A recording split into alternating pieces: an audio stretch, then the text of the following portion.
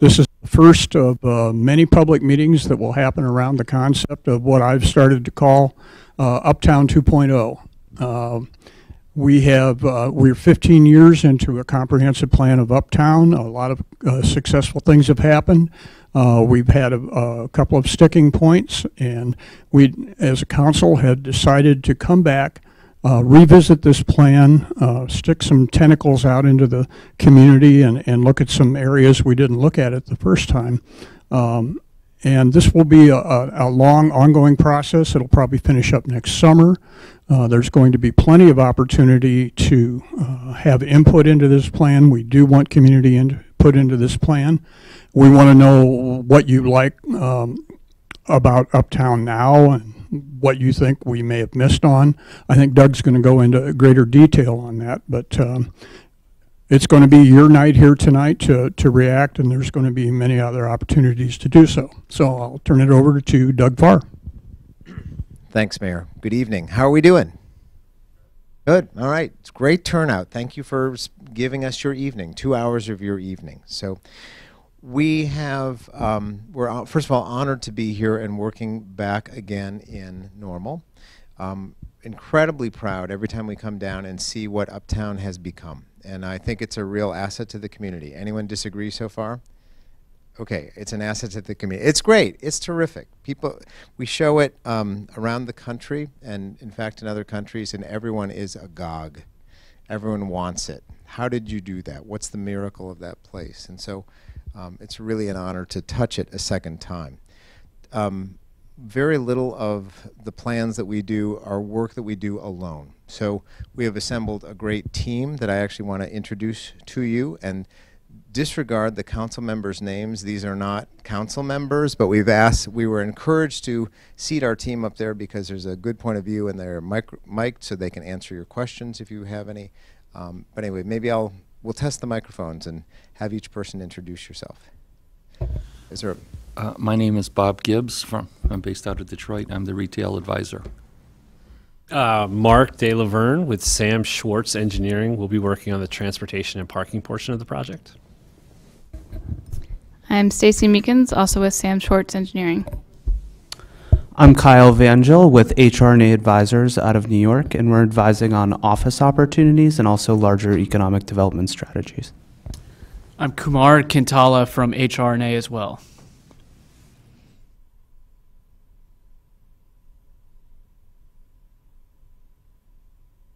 There you go. Ah, thank you. I'm Todd Zimmerman, and I am not very adept at making microphones work. Uh, we're, I'm here to help out with the housing component. Steve Wilson with Farr Associates, uh, project manager. Karishma Lee with Farr Associates Urban Designer. Perfect. So there probably isn't enough time to ask each of you to introduce yourselves, so maybe we can start by asking some sort of general questions. Who here works in the down, in the uptown downtown area? Who lives in uptown downtown? Uptown. People. Um, who goes to school hereabouts? Any ISU students? Couple. Are you here for credit? Okay, because uh, you know it's pass fail tonight. You really the pressure's off. No, no exams. Um, let's see. Who was around 15 years ago when we did the first plan?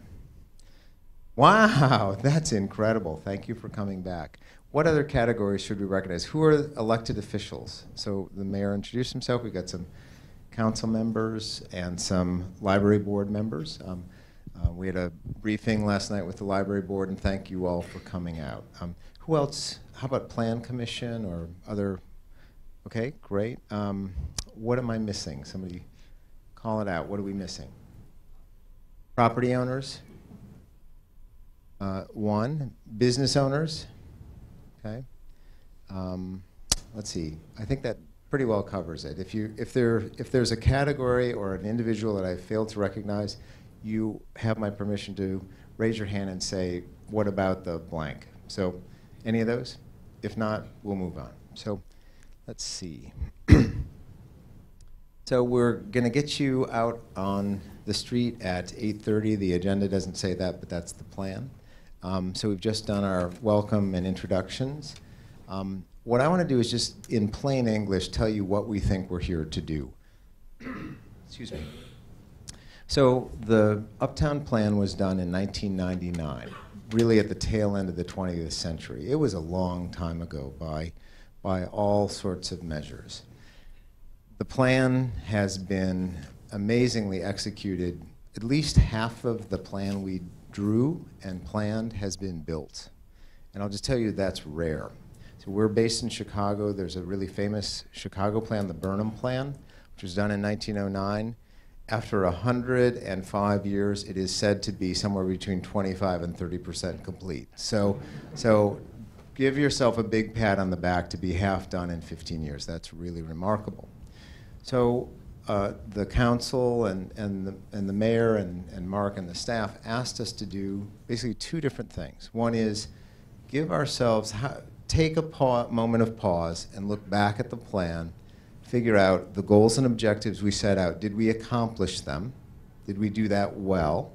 Did we somehow stray from the course and do something different? So that kind of circumspection, right? Second thing is pause, give ourselves a report card. Is, it, is everything as good as it could be? Are there tweaks we need to do to the plan to complete the plan, right? Adjustments to, to make? Um, a lot of time has passed, the world has turned, 9 11 happened, the internet wasn't invented but has really become a dominant force in our lives. Smartphones happened, lots of things have happened in those 15 years. So, what about changes in society cause us to want to update the plan as well? So, that's sort of the first half of the project. As the alluded to, the second part of it is to cast a much wider area look, look at a bigger study area than we did the first time. And so we're going to do that. That includes south of the tracks. That includes, you know, we've got some maps I'll show you in a minute where that covers. But um, in a real estate sense, and you, you heard our uh, consultants introduce themselves, retail experts, transportation experts, office experts, housing experts.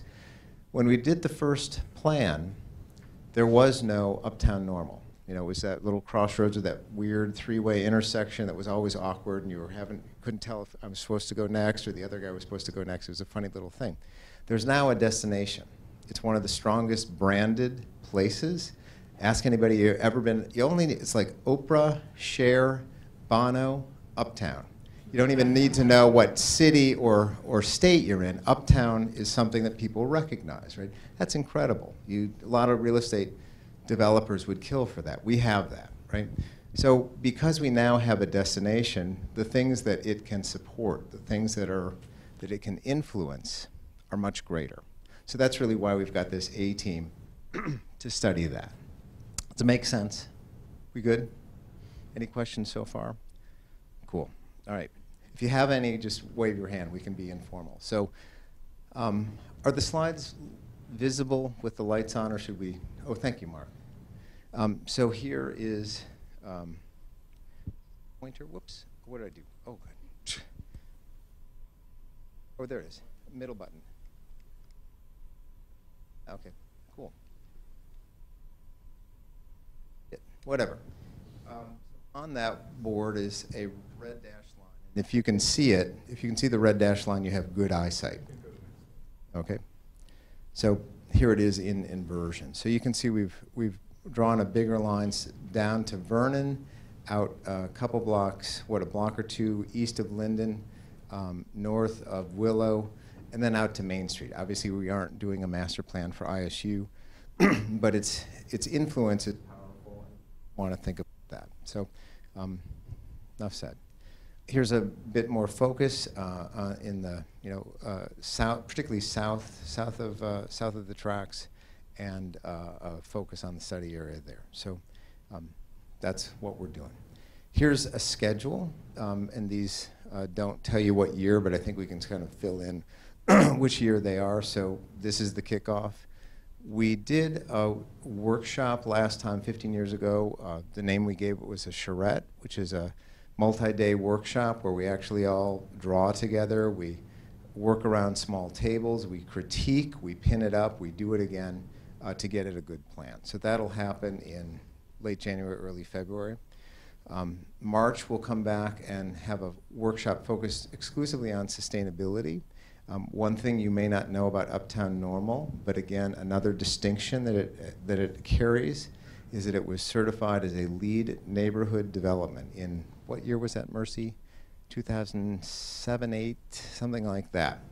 It's one of a hundred places in the country that have that, so it's pretty rare. So again, it's part of the town's great legacy and investment. So we think we need to look at that again. So we'll do that in March. Um, we hope to present the draft plan, which doesn't exist. Anyone who thinks we showed up and they already know what they want to do and this is a cooked process and any of that sort of stuff, trust me, we have no idea. We really don't. So, and you'll when we start speaking, you'll really know that to be true. So, uh, but we'll we've got the right team. We'll get that done. And then in June, an open house, present to council, uh, and then a new plan will be established, adopted, and hopefully there, thereafter implemented. So, any questions on that? Okay. so you may remember this crude pencil drawing that proved to be pretty darn good. This was the cartoon sketch that we did to communicate what Uptown Normal might look like. This drawing was done in 1999. Obviously, only about half of it is built. There's two and a half buildings complete and uh, two and a half buildings yet to do uh, that sort of comprise the five buildings around the square. But a lot of things that, um, that are outside just the circle have been completed. The hotel is amazing. Beaufort Street is looking really good, uh, and lots of other improvements. A lot of parking decks and investment in that regard. Uh, but this, this generating vision drawing really carried the day to communicate to people what it was we were after, 1999. Here was the plan in the day. Um, the plan wasn't actually built as planned exactly. It was a living document, meaning as uh, opportunities came up or adjustments that made sense presented themselves, the plan was modified and altered slightly. Um, a big change from the original plan, if you remember back in 1999, you could actually walk across the tracks just at grade. There wasn't any fences or anything like that. Um, and over in, again, one of the many things that has changed since then, from then to now, was perceptions of safety on the railroad's part. So they're freaked out about people being on the tracks as pedestrians. They're freaked out about someone passing the first train only to have a second train coming that they didn't see. So anyway, they've really clamped down on that pedestrian crossing. So that's a big deal for us because it really cuts off and isolates the stuff south of the track. So we'll be taking a really close look at that. Zeroing in on the, you know, just a focused in um, uh, part of the plan, you can see that um, we did a retail sort of analysis and segmentation. Um, the premise was closer to campus, the retail is more campus oriented, closer to the circle, more mixed, closer to Linden, much more destination retail, not for students, but for um, folks in the community at large.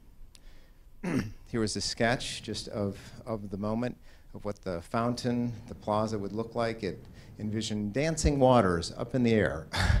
that particular version didn't happen, but the idea that the, the fountain and the plaza would capture stormwater and filter it to the delight of all of us is one thing it did fulfill. So we're pretty proud of that. Um, a detailed uh, focus in on the, the um, circle and the uh, design guidelines that we finished in 2002 that established the system of arcades and the circle and the idea that there would be a continuous circular path that you could walk around the outside um, and then uh, the roundabout and the plaza inside that.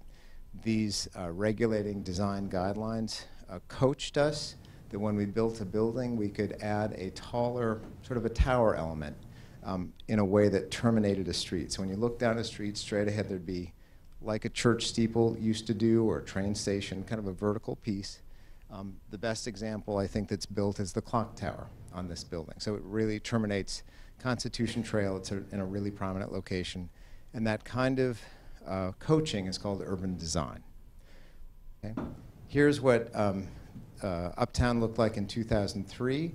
Um, and you can see there's, it, it's a pretty bleak view. It's not, not that Uptown was bleak, but these views, uh, I think, are just a little gray. 2009, the circle has happened, um, but not a lot else. Everything was historic, was retained. Um, and then here we go, 2013, uh, City Hall, uh, the council chambers. Ooh. Yeah, okay, thank you, Mark. Oh, yeah. Oh, yeah, that's happening. so the, the hotel, the parking lot, and so on. So we've really made a lot of progress, but there's a lot of work yet to do. Those two sites, and obviously the, the uh, hotel coming out of the ground uh, is next. So um, same perspective, different view. Oh, before and after, yeah. Thank you. Okay, so uh, we called it something different at 6 o'clock. So I thank you, Steve, for, for clarifying. So Mercy and others compiled some before and after pictures of Uptown, and this is just to kind of uh, illustrate for us the dramatic change that's happened. So I think they speak for themselves. I'll just uh, click through them. That was the before, this is the after. Four. Yeah, who, is that couple in the audience tonight? no, after. Before. After. Before. After. Okay, that's kind of fun. We can do it again if you want. We can do it at the end. Do it all. We'll, a few more? Okay. After this. Okay. Rendering and real building. These are all LEED buildings, eh? Cool.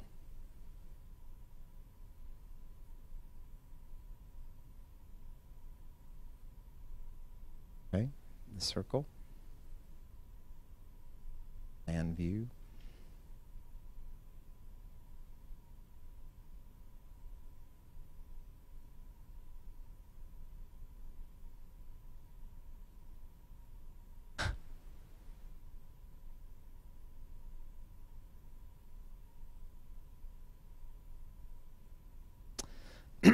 And the the collection of awards that the Circle and the Uptown have won are just amazing. So, um, I, I love to talk about that stuff. So,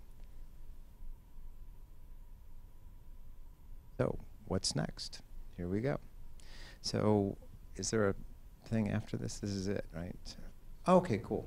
Thank you. Um, so the next part we've called on our experts to each give a little coaching on the trends that are in place nowadays that govern the work we're about to do. And I think, am I first? I am first, okay. Trends in urban design. So, um, so this is meant to be conversational. It's not super sciency, um, but let's show you what we've got. So, one of the things, one of the projects that's underway in town is the design of this um, a, way to get across the tracks, given that the railroads don't want us to do it just by walking across anymore. To orient, to orient you, this is the city hall. There's the clock, and so this is a current design for a stair and elevator uh, structure that would get you up, over, and down uh, across to the other side of the tracks and currently proposes connecting to the backside of the current or the now old Amtrak station as a kind of waiting room on the north side of the tracks. So what we see when we see this is certainly a facility that gets people across the tracks, but would be something you would do either reluctantly or only if you had to. It's not fun, it's not delightful, it's not inducing. So um, one of one of the things that we hope to do are to bring forward illustrations and ideas that might get us thinking differently. So I'm about to show you a bunch of slides, and please don't go home and say, "Oh, that guy is so crazy. He said we could do X, Y, and Z." These are ideas, right? So have people heard of the High Line in New York? Have people visited the High Line in New York? So it's um, in one. Some people think of this as the silliest, folliest thing ever done the most expensive way to spend money in the air, I think was what I heard from Todd earlier today. Um, but given that what we have here is you're up in the air at the second level, how could we make that a virtue? Or is it a virtue? Or is there another way to think about getting across the tracks? So the High Line. It's a couple miles long, it's in Manhattan, and all kinds of crazy people from Manhattan and around the world walk the length of it, delighted to be looking down at things below them, including this sort of bleacher situation where what are they looking down on? A street. So it's the cars going underneath, just regular everyday street. Pretty cool. You know, could our bridge be this kind of thing looking at the trains, right? Would that make it fun? Would that make it interesting? So uh, just, just a thought. And here's Um, you know, the idea that it's not simply a, a, a, a, route to pass along, it is also a place that people choose to linger and spend time. That's, that's the highline. This is a really, this comes from a really different place, but I want to show it to you. This is in Stockholm, Sweden. This is the Culture House, or as they pronounce it there, Kulturhuset. And I show it here because it um, shows a sunken plaza. Again, you are entering kind of at the second level. So the kind of main floor of the building is up on, on either the, the second floor or you could say this is a sort of sunken plaza. This building stacks in one structure kind of a lot of uh, um, community uses, library, black box theater, it's got a transit center, all in one. So it's a kind of one-stop destination that all age groups have a reason to go visit. So this came up, we showed this image last night to the library board as a kind of get the juices flowing, what, what partnerships could you do to make a cool library. The Salt Lake Public Library in Salt Lake City, Utah is uh, another kind of one of those transformational uh, buildings. It's not, uh, you know, a library with stacks all in a row. It's quite a dynamic, um, dramatic public space, winter garden, all those kinds of things. And on top of that, it also does a trick with a change of grade, where this this um, arcade deal allows you to walk up to the top of the roof from outside, and then there's a terraced garden up on the roof of the building. So again, we're introducing ideas, none of which really apply exactly, but test these ideas of once you're in the air, how could you take advantage of that? What would be value added? Um, this is Chicago, the Lurie Garden, and for those of you who have seen it, the Nichols Bridge, which is a really long sort of shot that gets you up actually to the third floor at the Art Institute. It is also an image of how a cultural institution, in this case a museum, faces a park. So those are interesting ideas I think we will hopefully uh, test. I also uh, hold, hold ourselves to a really high standard to say, if we do our jobs right, the same way that Uptown might now almost be at this point, do people get wedding shots in the circle? Does that happen at all? It does? We'd like to do it again south of the tracks. We'd like to do it again a couple more times. So that is uh, urban designer bliss when you hear that people you know, hold, it, hold the place in high enough regard to do that. Uh, another trend I want to refer to is called tactical urbanism, which is taking public spaces that we, don't, we often take for granted, like streets, sometimes even parking spaces and things like that, and, and programming them differently. So you can re-envision how they work. This is obviously yoga in the street. Um, another trend is pop-up retail, this idea that you don't necessarily have to have a bricks and mortar store. These are container boxes like you'd see on the back of a semi or the back of a, a flat, uh, flat car um, that have been made into shops. And I think this is maybe in London, but you know, is there some idea there that we might introduce in Uptown? Um, and then this is just an image to remind us that we want to look at sustainability again. Um, part of our team is uh, this group, the Living Futures Institute, um, and they'll, that's the March workshop we're going to do with them. And so uh, we can answer questions about that later, but that's, those are my trends. Who's next? Steve. Housing. Todd Zimmerman. Any questions so far? Oh yeah, question?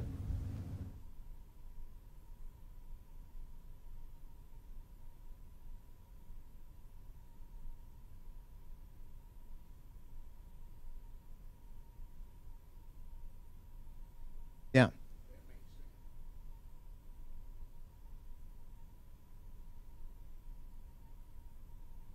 I don't know. We'll we'll talk about it. Uh, what I would say is, yeah, that's no. I appreciate it. Yeah, yeah, yeah.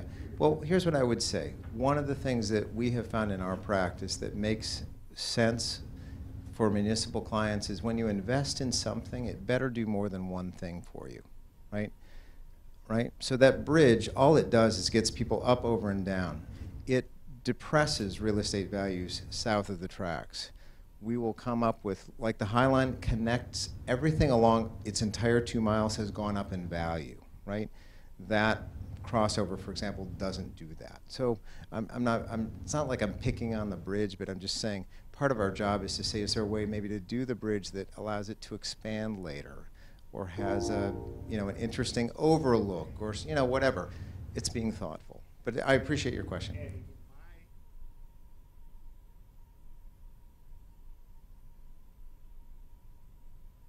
Well, the, the bridge that's being built, I think, is all IDOT funded, is that right?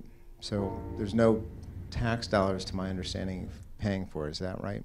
Somebody just nod, somebody in position of authority, nod, yes, yes. But if it,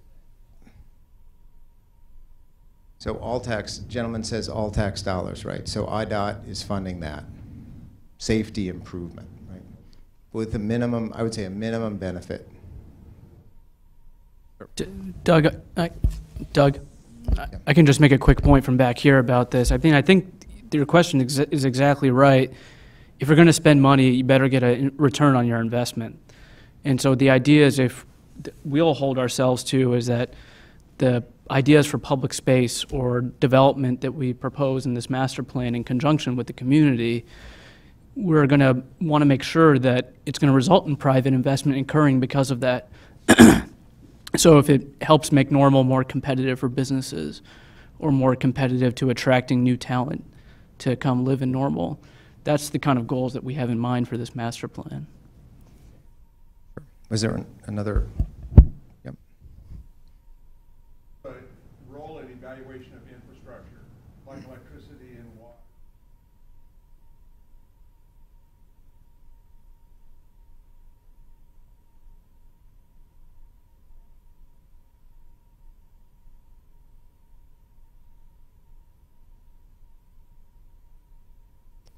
Can I propose that we write that one down? Because that's like an hour. and I'd love to talk to you about it, you know, tonight or in the future, but I feel like just for time, we probably can't go there. Was there a quick comment or, yeah?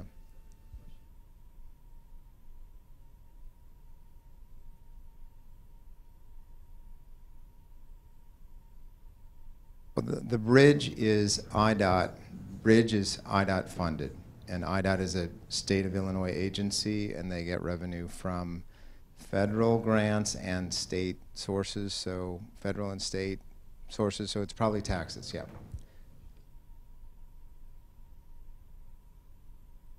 Yes, we have nothing to do with the bridge. It's already, the money's been, you know, devoted to the project. We're just saying it could be designed better. Okay, Right? I think we've probably covered that one. So Todd?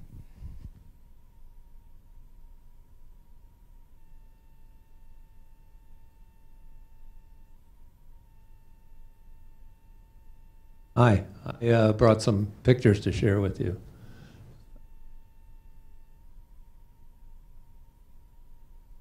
Everybody remember this?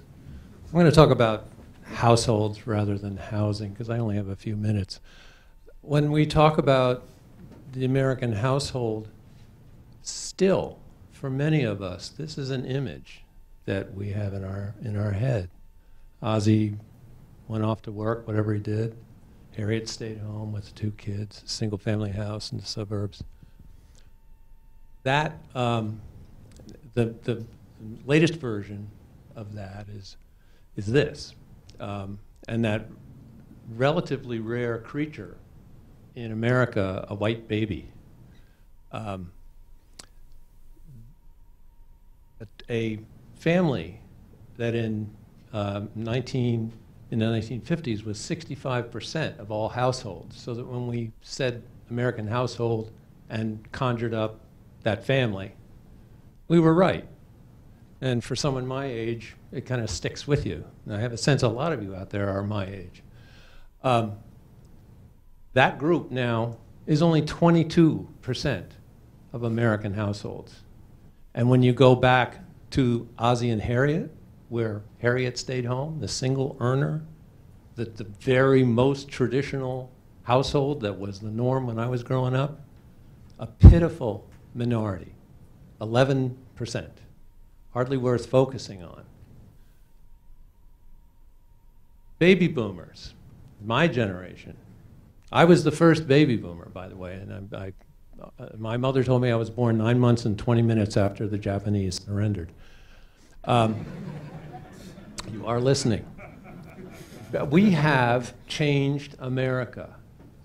Our generation has changed America. Uh, but whether it's inexorably or not, whether this is the long amnesia that we created with our McMansions and our SUVs and our cul-de-sacs and places where all the grass grows perfectly in the same direction. These people now, uh, there's a significant percentage who are abandoning those houses because, after all, the kids are gone, the dogs died, so uh, the lawn's too big to mow, um, too small to farm. Um, they're moving back into uh, close-in neighborhoods, sometimes in very urban neighborhoods. And depending on their personal disposition, they're moving to uh, great urban centers like uh, New York and Chicago and San Francisco. And some of them are moving to tiny little urban centers uh, like uh, potentially uptown. It's a possibility, could happen. But the group that we need to think about now are the millennials. In 2010, they passed the boomers as the largest generation in American history. Um, and this is the perfect image of millennials. It's a woman empowered on a bicycle with her ball and chain pinion across the rear wheel. The, this century is going to be made by millennial women. They're 60% of, of, uh, of college, of undergraduates nationally. Um, I think it's 59% of, uh, of masters. Uh, they're projected to be more than half of employment growth over the next, uh, next 10 years. Uh, they, and they ride bicycles in high heels. Bicycling. That, now, I, we, we talk to millennials all the time because we're, we focus only on urban places or walkable communities. So we have to understand who's going to live there. We've spent, we've spent our whole lives talking to baby boomers because we are baby boomers. Millennials, much more mysterious, much more mysterious. There's a, there's a subset of millennials who are extremely angry about how they were brought up in the suburbs, where it was a rite of passage to, to leave their cul-de-sac, where until they were, depending on what state you lived in, 16 or 17, you were hostage to someone with a driver's license to do anything. And in the worst case, if you were not the oldest child, that person with a driver's license was an older sibling. It's like a, a perfect storm of horror.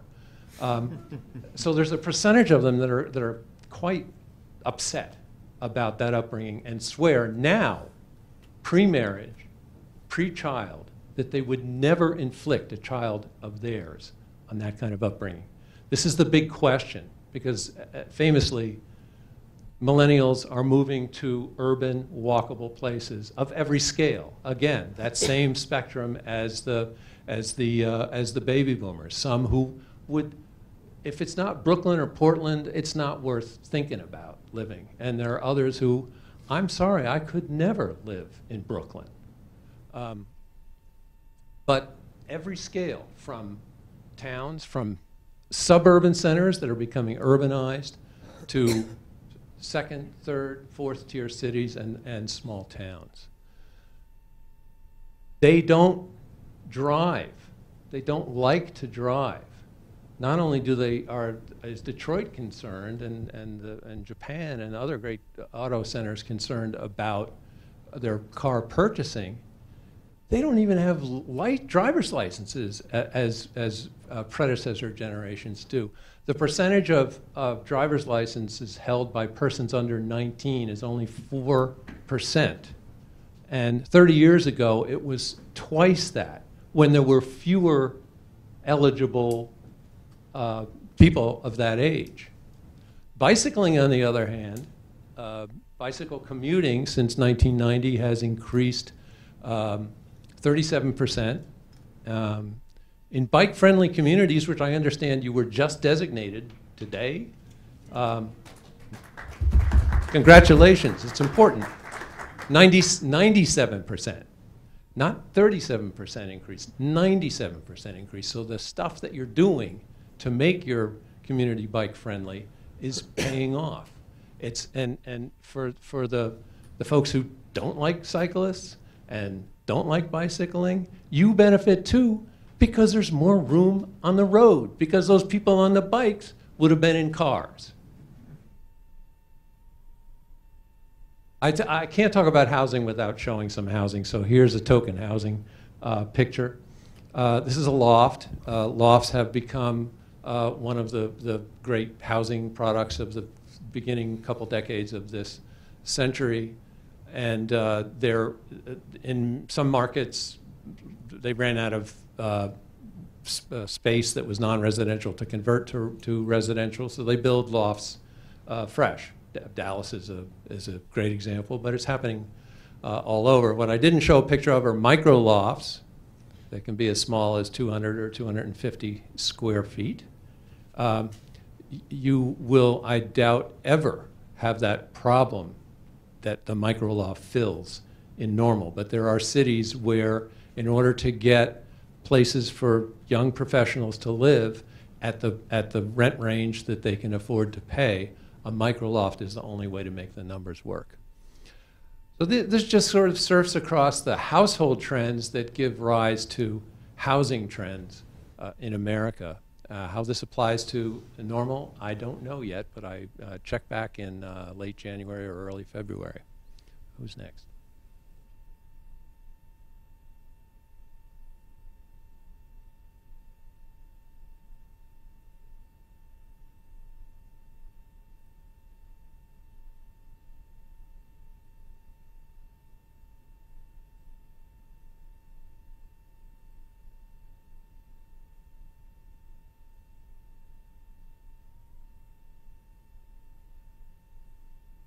Good evening. My name is Bob Gibbs. I'm the retail advisor, and uh, my sector, retailing, has greatly changed.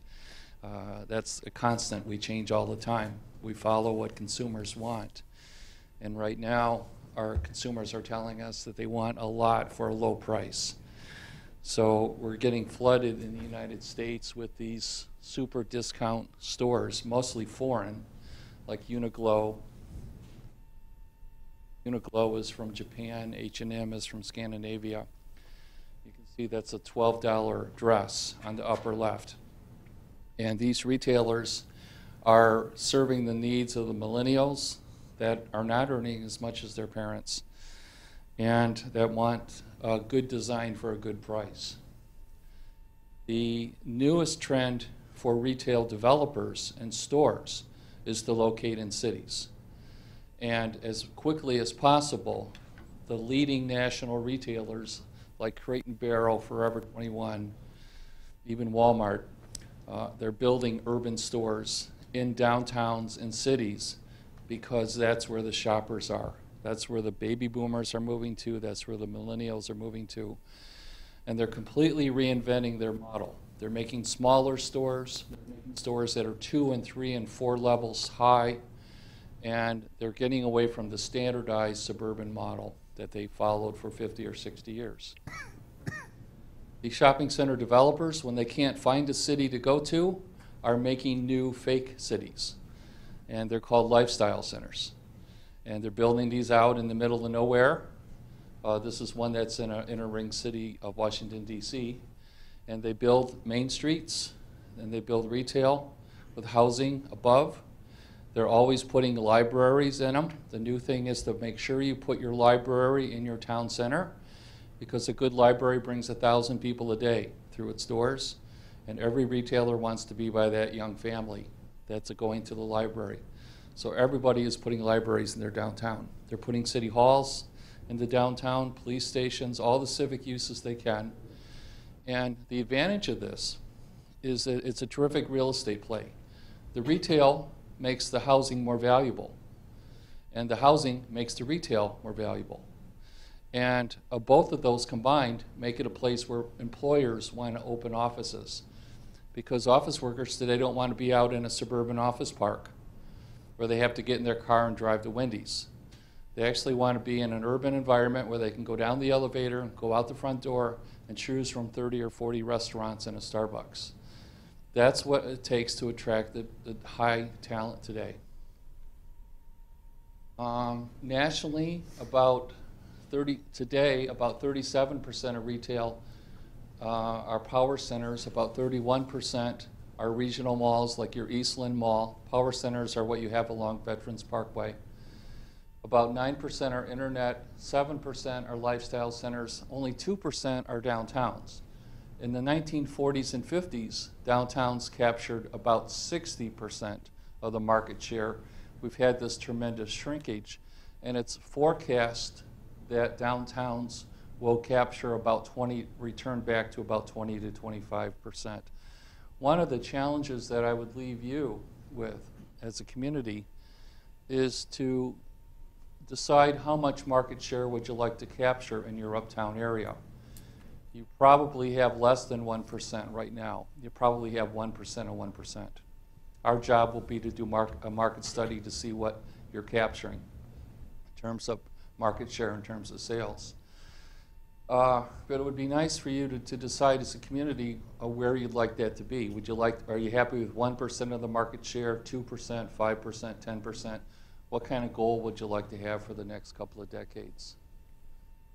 Uh, malls are not dead. And despite all that's been written about uh, shopping malls, enclosed malls, saying that the mall is dead, that's just simply not true. There have been about 20 to 25 percent of the enclosed malls have died and they've been razed or they're, they're about to be torn down. But those have always been in very weak markets where any product type would have failed. For the most part, the enclosed mall uh, is thriving, and for the most part, they are overperforming or doing better than uh, downtowns or lifestyle centers. I don't know if that's going to change, but right now they're doing very well, especially the super luxury malls. The malls that have the Louis Vuitton and the really high-end retailers are doing very well. On average, the U.S. average uh, shopping mall in the United States generates about $275 in sales per square foot per year. Everything in my industry is rated on sales per square foot per year of the center. I met with a handful of retailers today in the uptown area, and based on what they're quoting me in rents, rents are 10% of sales. We're estimating that they're probably doing sales of below $100 a square foot per year. The national average for independent retailers is about $80 a square foot per year, and probably the uptown retailers are slightly better than the national average. The highest grossing shopping center developer in the country, the Taubman Company, has sales of almost $700 a square foot per year. We work with some shopping centers that have sales of over $1,000 a square foot per year. This is a map that shows where 80% uh, well, 80% of the U.S. population today lives in urban areas, and the blue counties represent where 50% of U.S. residents live. And when Uniqlo or H&M or when a new retailer decides to open stores in the U.S., they first gravitate to those blue counties. And of course, this county is not one of those blue counties. But after they deploy stores, then they'll go to the additional counties. This is what we're seeing happening in a lot of cities. This is uh, the University of Pennsylvania in Philadelphia, where we did a similar study about the same time we did this original study 15 years ago. And this is what they built. They built a mixed use uh, center with housing on top of retail. This is what uh, at the time was very unconventional, at the time was considered way out there. Today, this is the new norm. And this is what retailers and uh, residential and office developers are preferring to do. Uh, this is the shopper of today. Uh, she tends to be about 25 to 35 years old, and she tends to be a, a single parent, or she's living in a two-income family. She's working a long, a long day, and she tends to do all of her shopping at night. Last year, 75% of all retail sales occurred after 5:30 at night because your boss doesn't give you time off anymore to go shopping. That just doesn't occur. And like Ozzie and Harriet, uh, Harriet didn't work. so she could shop during the day. Uh, The uptown retailers we met with today, except for one, close at 6 o'clock at night. And uh, that's common. Uh, That's very common because when you're a small independent retailer, it's almost impossible to have evening hours. But your uptown area is likely giving up about 70% of the market share by closing at night. The other challenge that retailers have is that only 4% of the average family paycheck goes to shopping for apparel, and only 5% goes to dining out. 91% of the average paycheck is spent before it's received. Every week, you pre-spend 91% of your paycheck on your housing, on your insurance, on food, transportation, and other items. So when fuel prices go up, or when you don't get overtime, or when any, any number of things occur, people stop shopping. It's an elective activity. I recently saw a survey that said uh, the average household could go four years without buying any more clothing. And that's frankly what happens. And having a competitive shopping district or a competitive shopping center is very challenging because people can put it off. They can just say, I'm not going to shop today, I'm not going to shop tomorrow. If somebody decides to come, say from the country club district, and they decide to come to Uptown to shop, and they get in their car and they come here and they can't find a place to park close to the store, they're going to not likely go around the block four or five times looking for a place to park. They're likely to say, I'll come back tomorrow, which they never do. And I think uh, one of the things we're going to look at is your parking. And I know you've examined parking a lot, but parking is one of those greatly misunderstood but important elements that determines whether or not you have sales. Many shoppers today want to see the front door of the store from their car in a downtown like this. And if they can't see the front door, they're going to consider, they're going to consider your parking to be very, very uh, inconvenient. This is what Walmart and Target are doing right now. They're opening downtown stores. The upper left is the new Walmart that just opened in downtown Washington, D.C. And they built the Walmart store. They attached it, the glass part, they attached it to a historic building with lofts in it. And Walmart and Target and Kohl's and H&M and all of the large retailers now are going urban. They like to be in downtowns. That's where the customers are. You won't see very many four-story Walmart stores out in the suburbs, but that's what they're doing in cities. And it's just a matter of time before those types of retailers, and I'm not saying Walmart will come to Uptown, but it's just a matter of time before a lot of very strong retailers uh, will be looking at this market. Uh, retailers like downtowns because it's easy to, it's, it, if it's managed well, it can be easy to access. It can be easy to park because you can frequently park in front of the store on a downtown, on a street front. And uh, the downtowns often, when they're well managed, have a, a nice tenant mix.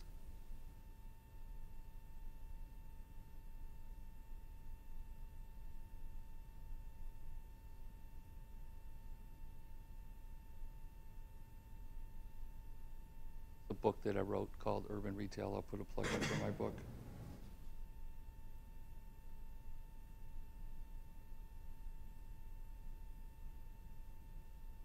Question? Sure.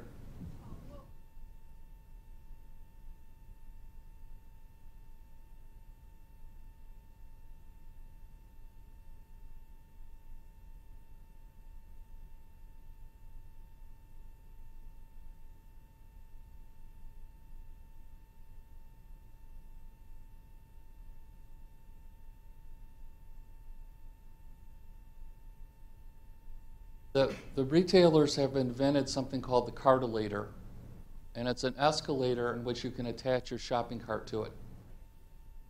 Yeah, like, like, yeah. And then they, they put the, they attach it to a parking garage because they know you won't cross the street. So they attach the, the store, the cash register areas to a, to a parking garage, so you can go right into the garage at that level, or take an uh, cartolator up to your level.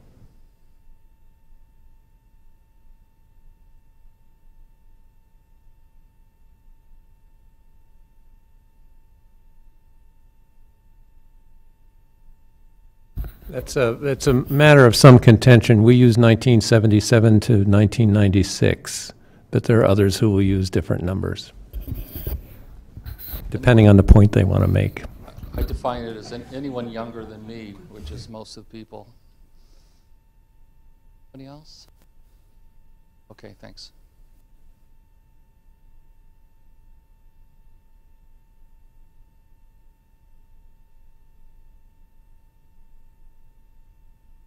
Um, So uh, HR&A is just going to talk through some of our, of our own experience and talk about how this illuminates some trends in the economic development space and in the office space. Um, first, Kumar is going to talk about Storrs Connecticut and our experience, and then I'll, I'll talk about some of our experience in, in uh, another place called Uptown, Uptown Charlotte.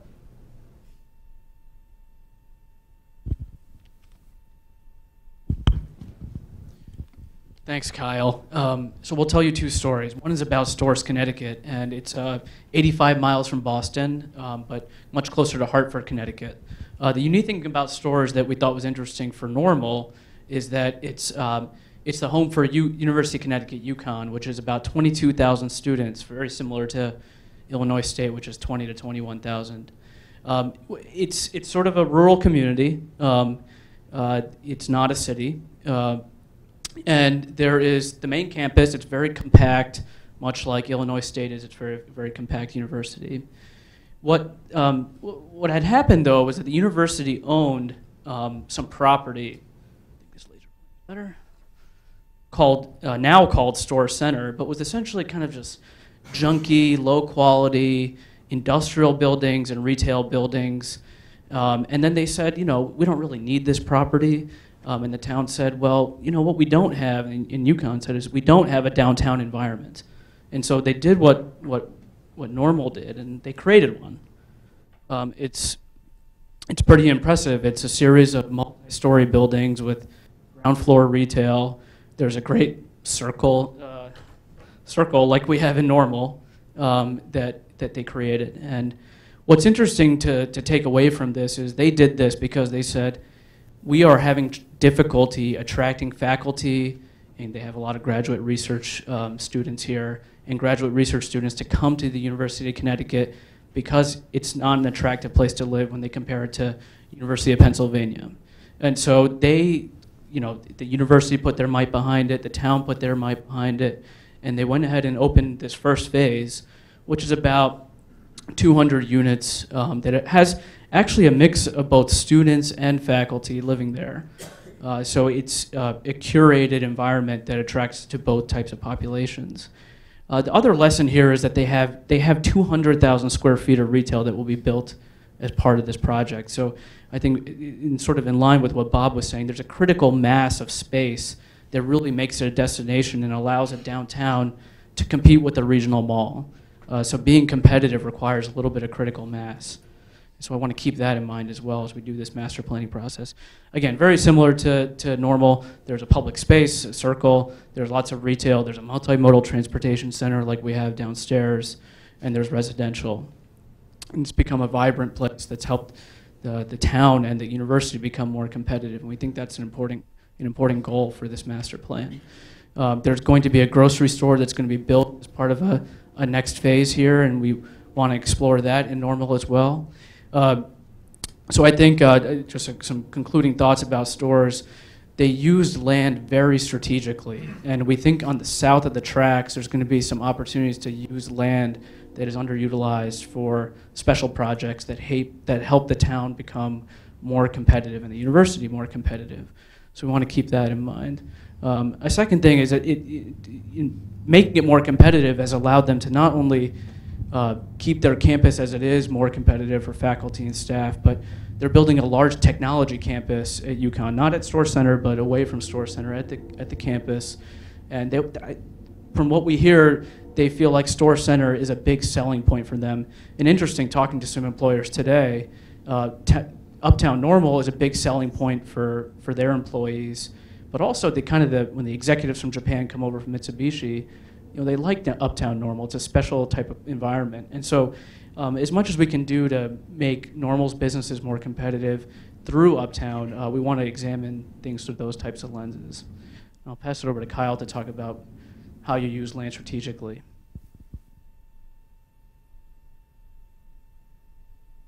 So we also wanted to illustrate the trend of, as been, has been alluded to earlier, of employers and employees increasingly favoring downtown locations because they're more interesting. It's a fun place to spend their day. And this is illustrated through some work that we recently completed in Uptown Charlotte, where we helped the, the city and the county think through what to do with four key parcels of land that they had available. And much like in Normal, the center of Uptown was largely complete. You know, the plan had been done and it had succeeded. And now, in the next decade, it was what do we do with those outlying parcels surrounding the Uptown in a way to advance the goals of the community and attract the types of uses that they want, knowing that people are very interested in living, working, and playing in Uptown Charlotte. And the first step in this process is something we'll be beginning with you tonight as well, was understanding what are the goals for this site. Is it merely about selling the land for the, for the highest price and getting the most tax revenue, which is certainly a viable goal? Or is it also about you know, diversifying the economy and thinking about the, the types of specific jobs that we want to create, the types of property tax revenues that might become available, and, and finally, the types of uses that might just catalyze people to be downtown, to spend money and time downtown. Um, in, in, in our case, for instance, I want to illustrate what, what we did with the, the largest and most valuable of, of these sites, really recommended a program focused on destination uses that would be anchored in, in, an, in an office, a destination use that would be anchored by office, that would draw, you know, sort of the trends we're hearing about the young millennial employees to uptown Charlotte as a place to live, work, and play.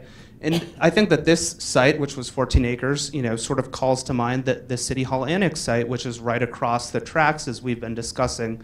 You know, if there's some kind of key uh, destination use, you know, that, that could really be a destination and get people to bridge over those tracks, want to cross those tracks, and at the same time serve economic development goals for the town of Normal be them to generate employment or to generate a new locus of activity, recreation. It's a really wonderful opportunity. And as Uptown Normal fills in, like Uptown Charlotte has filled in, uh, these, these kinds of parcels become very scarce. And you really have, you know, kind of one shot to, to create something that is, that is uh, catalytic and transformative for the community. So in, in reflecting on our lessons, um, we just want to you know highlight these because we think that you know they were applicable in, in Storrs, Connecticut, Charlotte, and, and in Normal as well, uh, even though they're not necessarily being fully exploited here yet. Um, you know, employees want to increasingly be located in, in diverse urban environments, and as a result, employers want to locate there so that they're competitive for the best employees.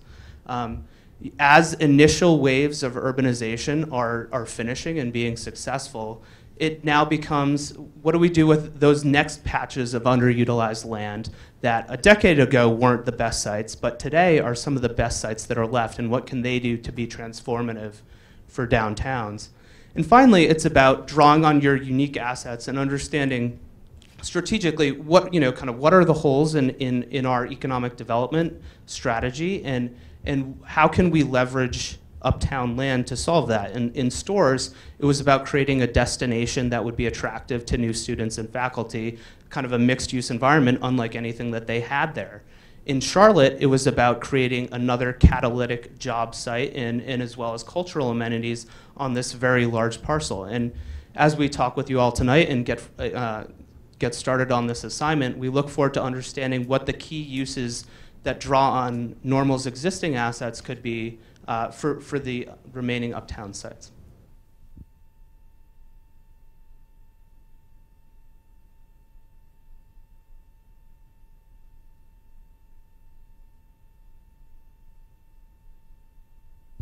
So usually I start this off by asking how everybody got here, but it's freezing cold out, so I'm just very happy that everybody showed up. We don't even touch that part. Um, a, lot of discussion has already been about transportation. Everybody here talking about it, and you know the, the changes in transportation are changing a lot of the trends that have to do with everything else here, whether it's housing, retail, um, or or office and economic development. So um, I'm going to kind of go over a lot of this stuff very quickly. Um, you know, 56, we started building highways because there was a demand, you know, to, to really make more space for automobiles because people were uh, beginning to drive more, and this was the this was the, the change in trend back then was car ownership. Um, we built a lot of highways, you know, interstates, interstates through cities, uh, a lot of room. We obviously needed room to put those cars in. We put in parking lots. We put in structured parking lots. We knocked down buildings in downtowns to put surface parking lots. You know, we did a lot to to respond to the demand that was happening. Um, this is a, a, very boring graph to show basically that average vehicle miles traveled continued to go up year by year by year, every single year. There were not, you know, even like little blips. Like we just kept going up and up and up. And there was no reason to think that that was going to stop because this is a trend that went on for a century. but then something did happen. Um, you look in 2008 and the annual vehicle miles traveled began to flatten out. You know, that, that graph that was going up just stopped growing up obviously part of that because it was a recession and people were, were, were driving less. Um, but as the economy has started to pick back up, that graph hasn't gone anywhere. And then when you look at a per capita, you know, as we've added more people, uh, it, it's actually gone down um, because that, that VMT is staying flat, but we're having a lot more people out there. And on a per capita basis, people are driving less. Um, you know, we look at economic development and, and you see where uh, um, this is just showing where venture capital investment is going. Um, but you know, it's it's trending up where transit ridership is higher, uh, and not where uh, people are driving more.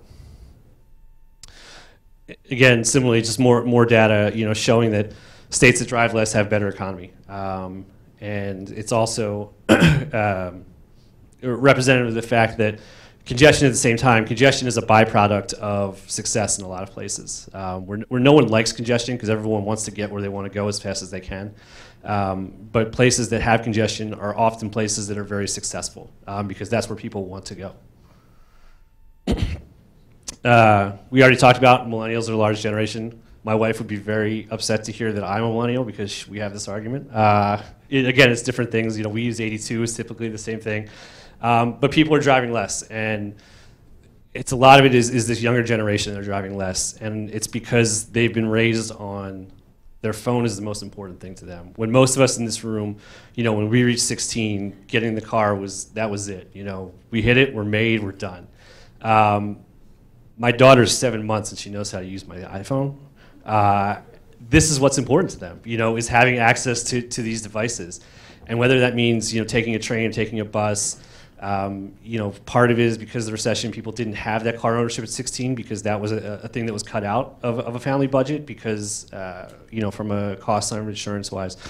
But the mobile phone is, is the most important thing to uh, a lot of people.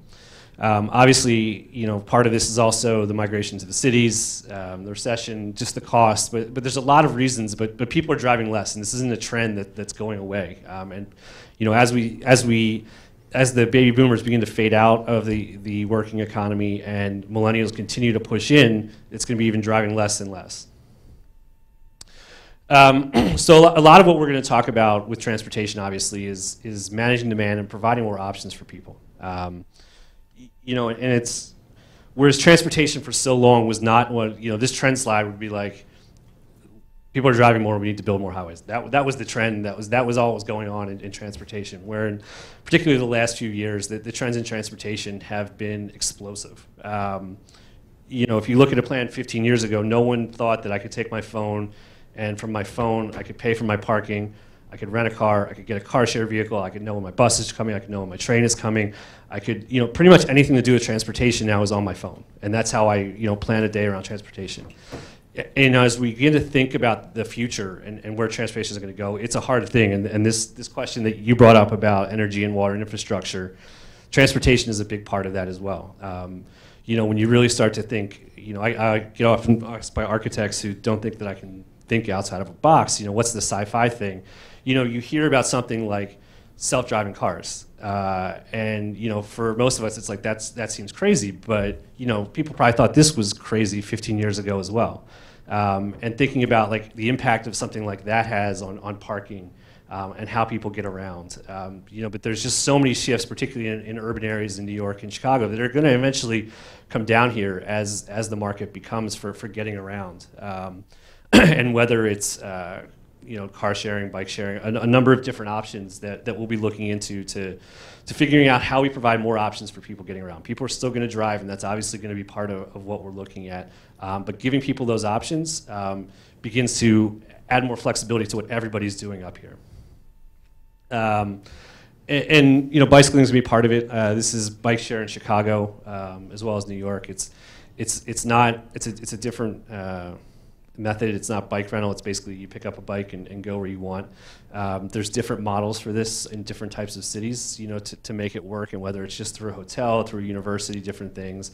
Um, but it's the idea that uh, giving a different face to bicycling, um, so that everybody's out biking from the 55 year old guy out working to the the family out. So you, you see a different face, and it's and it creates a better culture on the streets because obviously there's tension, and I'm sure there's tension here as we sort of talk between bicyclists, pedestrians, and, and vehicles. And we want to create a culture of respect that's safe for everyone.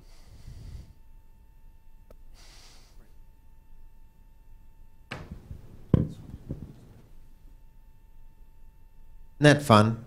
I like hearing these guys. They just they make it seem so interesting. Like it's a hopeful future, right? Um, we're going to do an exercise in a second. You all have little clickers, but uh, while we're getting that set up, any questions for any of the the slew of people who spoke last couple minutes? Any one quick question, comment? Speechless? Oh, yep.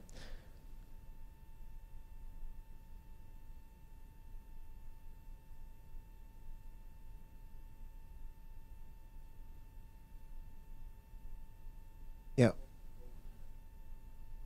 We, uh, we showed the map early on. Um, you know, if we'll, I don't know where your house is, but probably we'll get pretty close. Um, We, we can, come find me afterwards. We'll find your house and we'll answer it. Sir, did you have a question?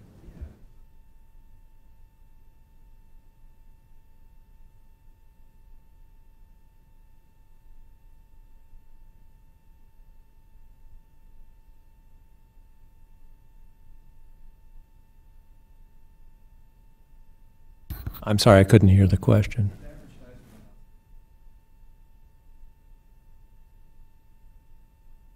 Average size where?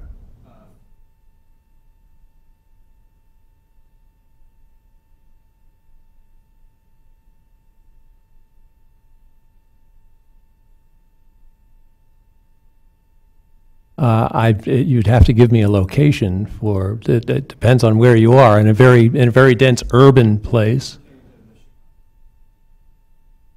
um, yeah, I'm, I, I honestly don't know. We, we will do analysis for, for normal, not for average in Chicagoland, which is, I drove down here from Chicago, that's a long way.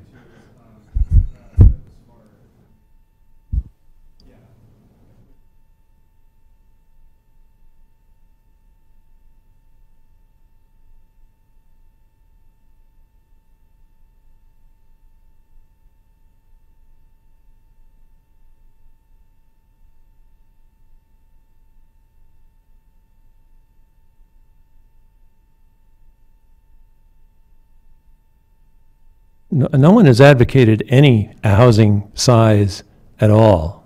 You may be mistaken that I mentioned micro lofts, and I did say that probably as, as soon as never would micro lofts be something that would be required or viable in a place like normal. So I don't think that it's, it's reasonable to have a discussion right now about findings that are at least a month or a month and a half away.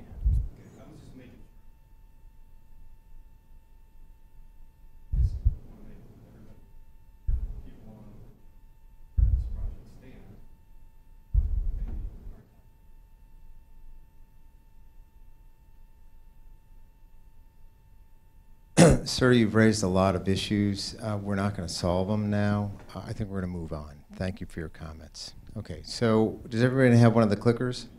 So we're going to do a little exercise, and what we're going to do is show you pictures of Uptown Normal and ask you what you think about it. So, um, but to teach you the technology, we're going to ask you a bunch of questions just to sort of check this out. So you can see there's A through E. So the question is, where would you like to visit one day? A, Hawaii, B, Rio de Janeiro, C, London, D, Egypt, E, um, Australia. So please vote your preference, and we'll see how the sort of technology works, we hope. Uh, there's not an all of the above, but I share your opinion. It's a, they, also, they were well-chosen lists. Um, okay, so how does this work? Okay, done, we're done. So up, what just happened? There we go. So the winner is tied between London and Australia. We like the the United King, uh, the what are the Commonwealth, the Commonwealth, right? So, cool. Favorite TV show? Let's try this again. Big Bang Theory, Walking Dead, Scandal, The Voice, none of the above. I don't own a TV.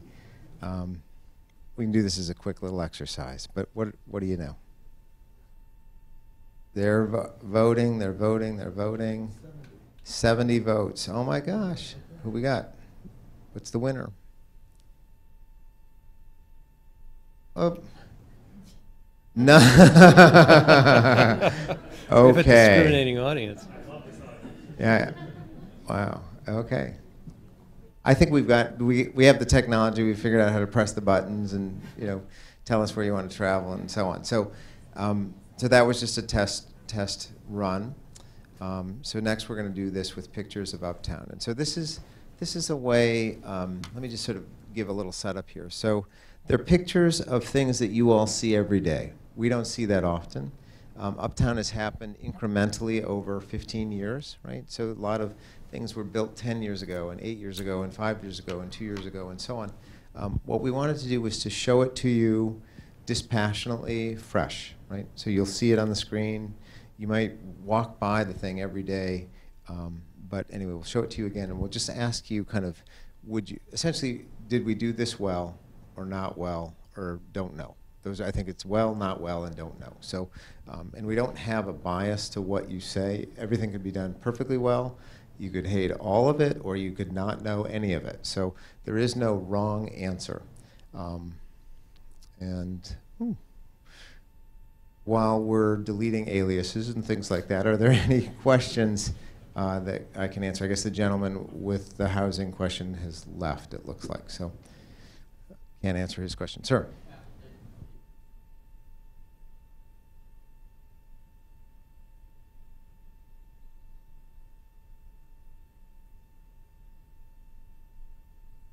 Well, no, no, no, no. So just just to say, part of our job is to coordinate amongst you know projects, initiatives, investments. That's no, no. But we take it is not built yet, and so our opportunity is if there's a, a moment where it can be tweaked to be made better, we think that's a great opportunity let me just say about it, you know, it was designed to get people up and over the tracks. I think it had one goal, right?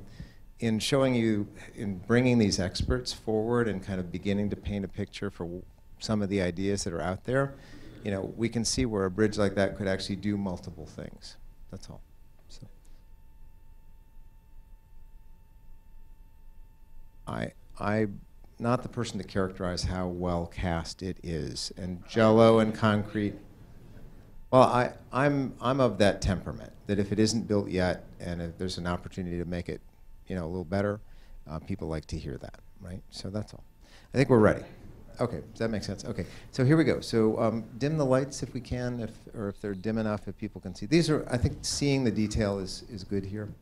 So we're going to ask you, these are all considerations. Whoa. Oh, there we go. Perfect. So these, the titles in the top. Oh, it's too dark. Okay. We need glow, glow in the dark, right, or something like that. Uh, ooh, my eyes, my poor eyes. Um, so each of these things: street character, architecture, materials. uh, uh, and things like that are aspects of the plan that we're going to build. So we're going to ask you about each of these existing streets. So here's the first one, right? So uh, we'll show you the question. Can we go backwards, by the way, in this if we want to?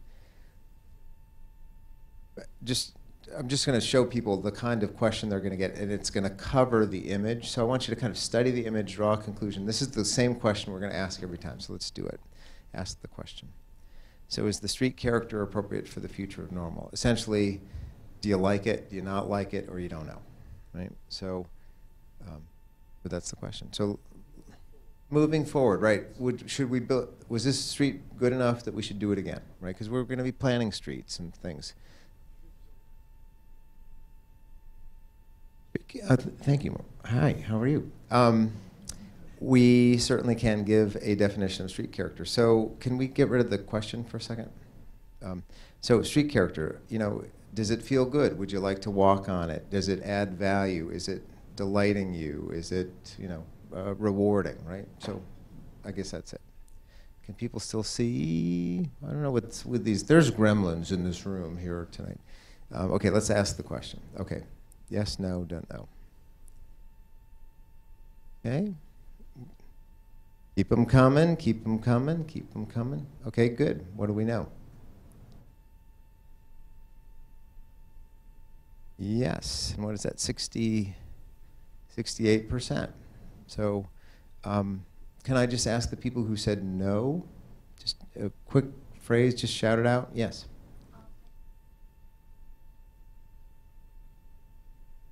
More consideration of different materials in the building. Okay. Yes, sir. Don't like You don't like the don't like the high rise. Okay. Can somebody write these down? This is important. Any other comments? That was great. Let's do the next one. Street character. You know what's you know what question's coming? I guess we're voting.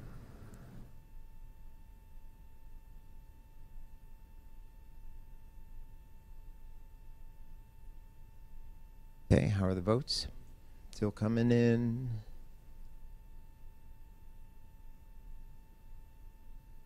Okay. Okay. Okay. We're we're slowly coming in. Okay, if you guys can vote a little quicker. A little quicker. Yeah. There we go. Okay. That made a difference. Okay. What do we know? Ooh, about half and half. Um, again, can the nose speak?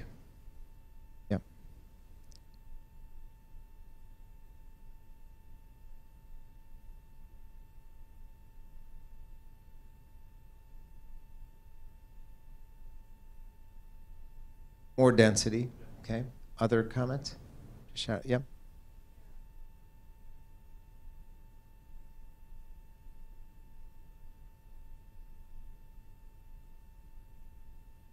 Okay.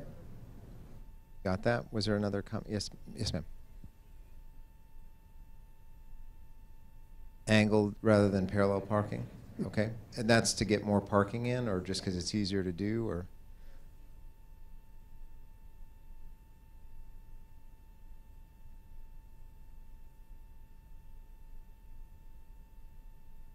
Okay. Good comment. Any other? Left side is charming, right side is boring and outdated. Write that one down. That man spoke with conviction. I like that. Sir? The storefronts are unattractive. Okay. I think we've, we've got a pretty good sense of this one. Let's move on. Thank you all. Next one street character.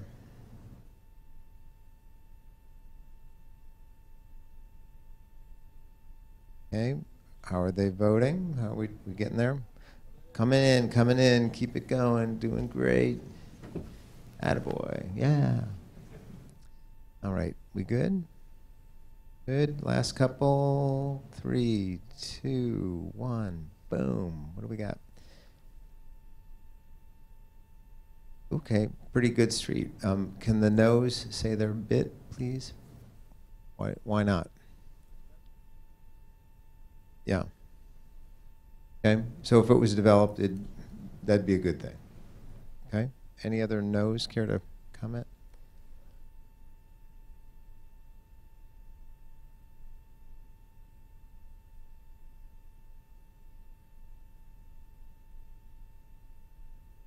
Okay, so parking scarce, decks too complicated.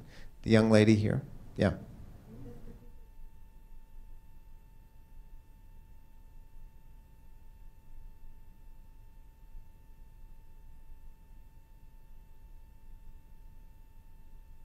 Okay. It's the comment, I see a lot of signs about it, you know, the drop off at the train station. So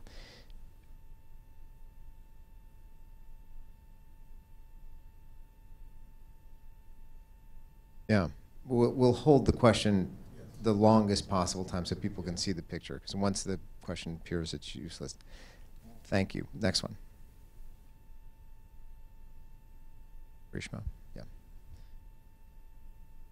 We'll give you about a count of 10 to sort of draw a conclusion, and then we'll put the question up and vote quickly. So uh, count of five, four, three, two, one. Let's vote. Everyone vote quickly. Yes, no, I don't know.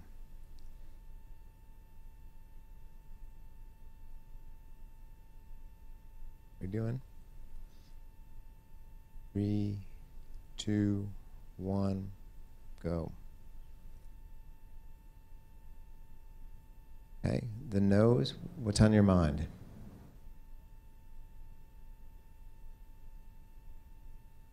Mm-hmm.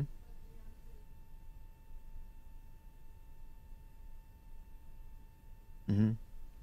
Okay, so if we filled in a, a ground floor establishment on the right and built a building on the left, we'd, we'd be there? So is, is it mostly a judgment about it being incomplete? Right. Yeah, okay. Does that summarize most people's impressions of it? Yes?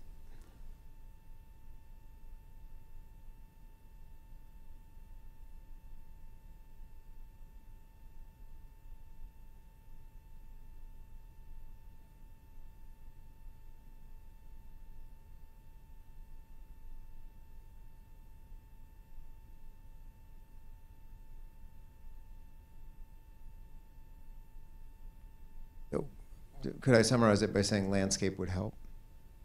Yeah. Okay, great. Thank you. Let's move on to the next one. Street character. That thing in the air. That part of the crane? Oh, it is. Okay. Yeah, it looked like a parachuter, didn't it? Yeah. Yeah, where's he going? Where is he going? All right, let's uh, draw your conclusions. Let's vote. Street character appropriate. Yes, no, to no.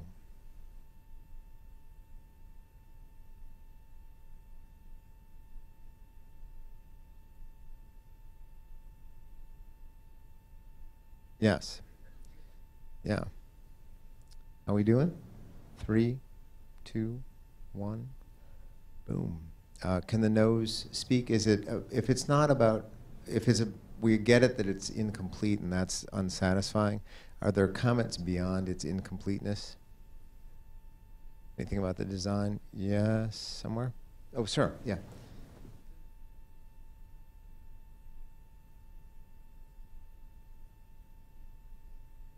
Okay, you'd like on-street parking for the train. You mean the Amtrak? You mean, so someone going into Chicago should park on the street? No, I'm saying. Dropping off, okay, sure, okay. Right. Right. Uh, I think the young lady over here made that similar point, so I think we got that one. Other non, other unique comments like that? Sir?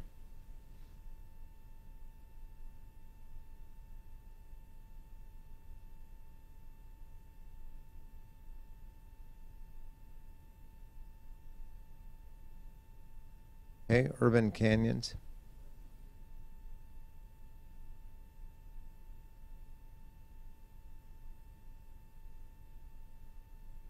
So urban canyons, windiness, and so on. Um, I'll say those dorms behind our, our incredible wind tunnel. Oh my God. About knocked me over today. Young man, did you have a comment?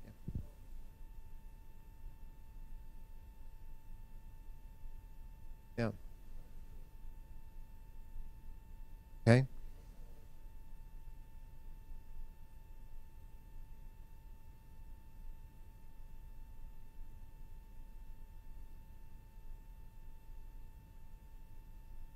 Okay.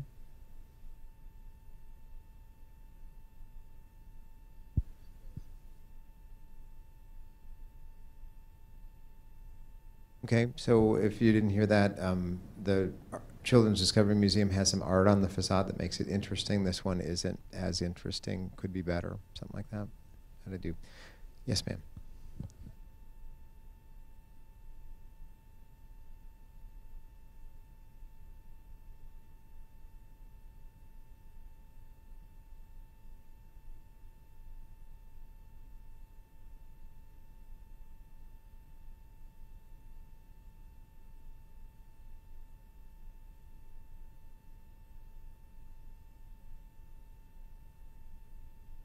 Yeah. Okay. Okay. I, I think we've got that. Good. All right. Next one.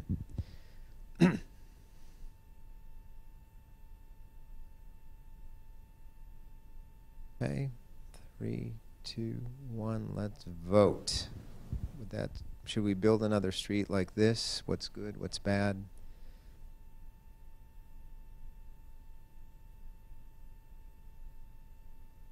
Well, we, um, the uh, annex site um, may need some new streets in it to get, get around.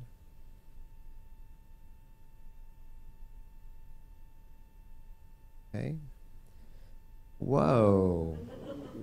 What did we do wrong? Oh my God.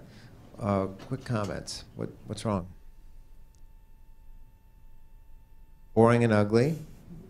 What do you really think? Yep. Um, other comments? Sheep. Sheep? Sir? To the, you like the trees? Okay. Good. Uh, yes, ma'am. Oh, the overhead wires, they're just polluting the view of the thing. Okay. Yep. Others? Sir? No visual appeal. Okay, others? No retail. Well, it's a residential street. You're, we can beat up on it for lots of things, but to make it something it isn't. Um, yeah, yes, ma'am.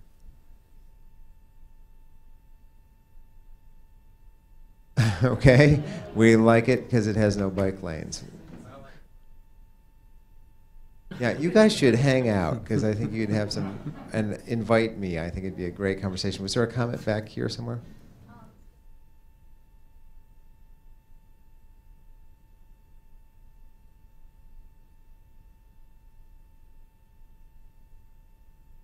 So the street parking was good, was bad. Okay, and so where do you, where do you want the cars? Behind the buildings? Okay. All right. Okay. Any other unique comments, sir? Oh, ma'am.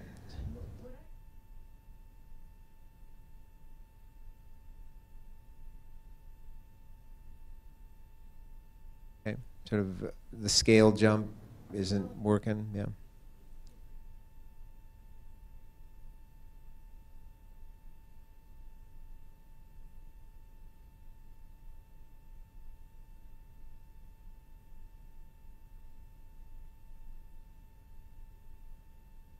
Right. Are you one of those people?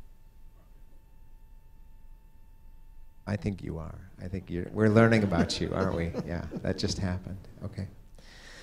All right, uh, let's go to the next one. Um, yeah, uh, yeah. All right, street character. Get, is this good? Not so good? Don't know. Let's vote. Let's be fast. Vote your, vote your preference. Will we do? Okay.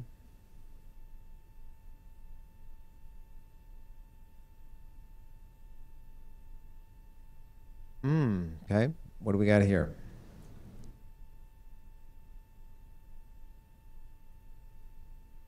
Lacks character, okay. What else?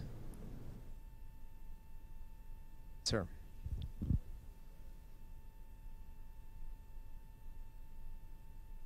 The median makes it hard to cross the street. It's pretty treacherous geometry there, isn't it, anyway? Yeah. Yeah. Um, were there, was there a comment over here? No. No, it's fine. Yeah, sir.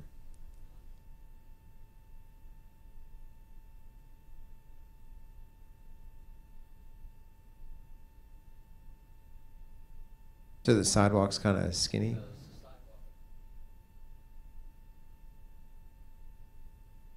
Okay. Okay, sir?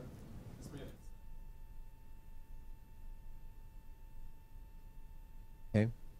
Is irritating. Yeah. Okay. All right, I think we've got this one, all right? Next one.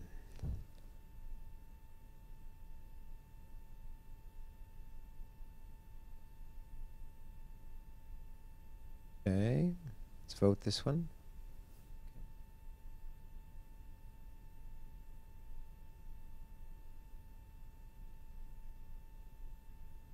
Okay, three, two.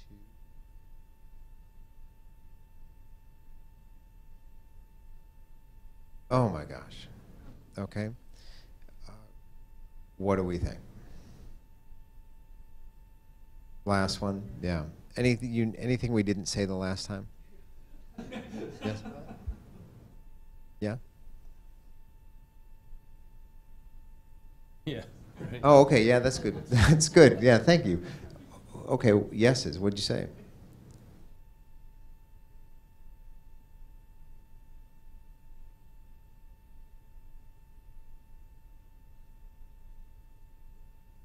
Okay.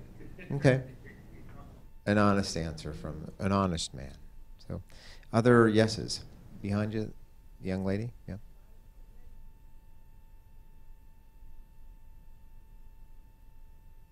You don't care for the look of the gas station. Yeah. Any other yeses care to share their thoughts? Okay, statistically, we know at least eight of you voted yes. So oh, come on, you know, you know, there's no hiding. And, sir, yeah. Lack of landscaping. Were you a yes or a no? No.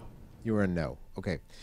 I guess there's only one person that's fessing up to being a yes. Okay, so we'll leave it to our head scratching moment what, what the yeses were thinking. So, um, all right, let's move on.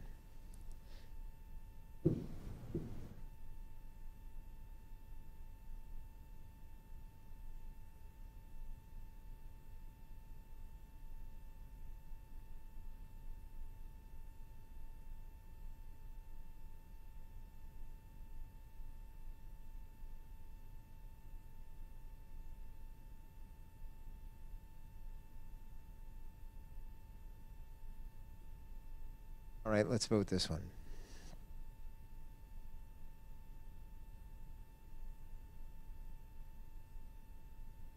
We think so, yeah. Okay, let's vote this one.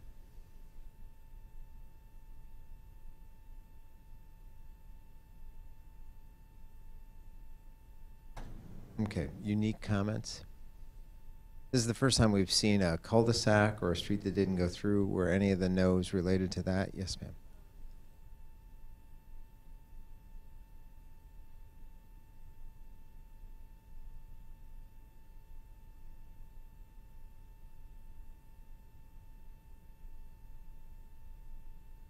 Okay.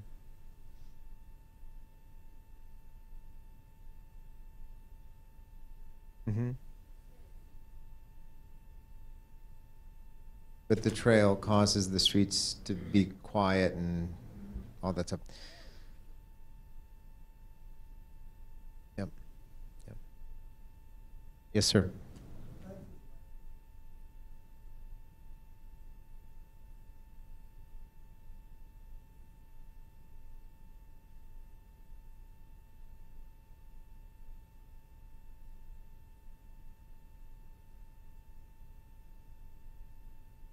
I'm,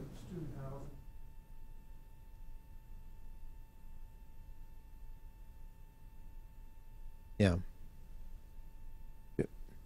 So you're saying this, uh, if the, if this area redeveloped under the design standards, it would be better?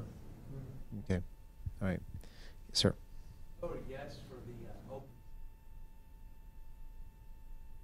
Okay, the, the lawn and such, okay, good.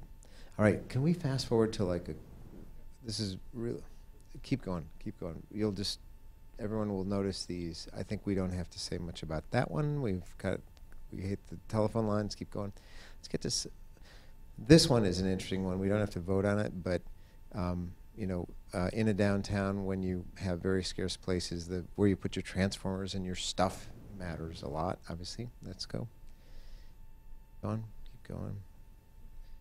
Um, let's keep. How many of the building materials do we have? Three.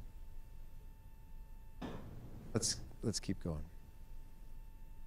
This one, let's let's vote this one. This one is an interesting one. I don't have any uh, dog in this fight, but it but this is a case where there's multiple building materials used on the facade. It's one of the things that um, the first uh, plan had design guidelines and said, please use these materials and please don't use these materials. And so this one used a variety of materials. Uh, did this get it right? So let's vote on it. Yes, no, don't know.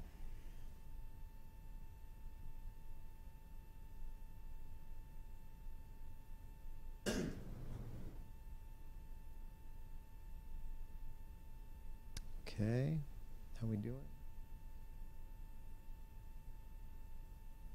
Okay, yeah, a lot of yeses, so most people. Um, can I ask the noes what was on your mind? Yes, ma'am.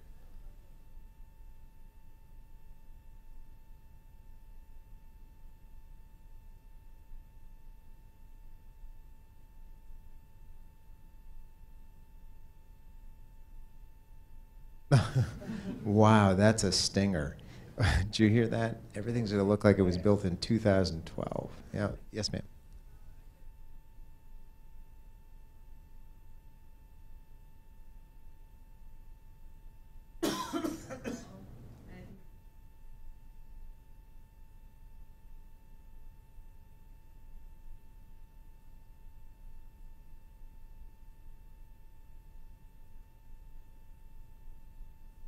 Okay. Other, sir.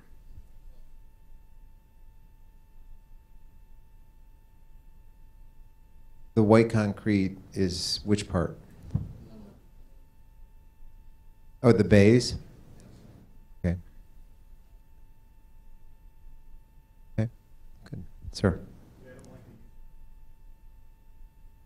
Concrete block on the first one.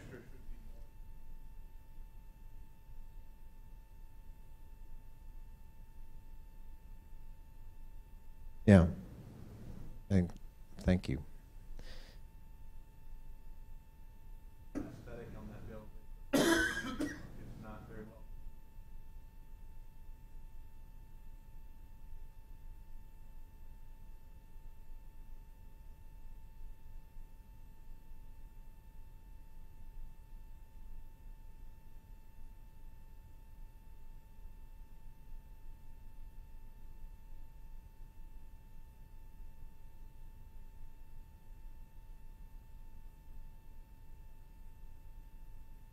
Mm-hmm.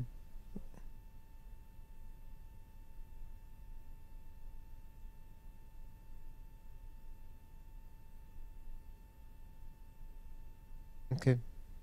Thank you. Let's do maybe one, sir? Uh, the question is, have, has anyone ever visited Andersonville in Chicago? And we have, yeah.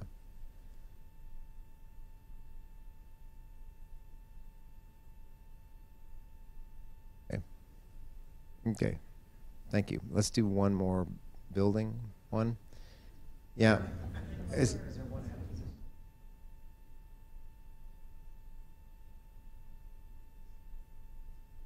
go to the next one. That one's yeah. Let's let's ask about this one. So, facade treatment is a kind of compound word that basically says the original design guidelines. You may not know asked that new buildings simulate or, or respond to the kind of 25 and 50 foot wide lots that the older buildings sit on. So you get that kind of rhythm down a street of sort of smaller facades. This building did that.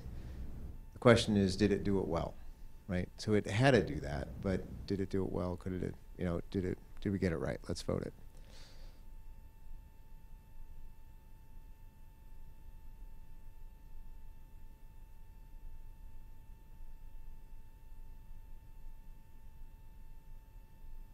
Okay, how are we doing?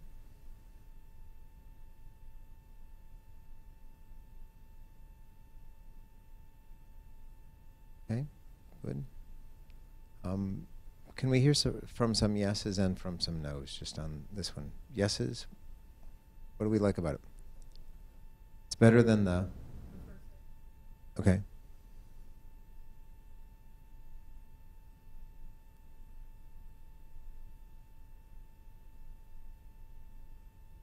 Mm-hmm.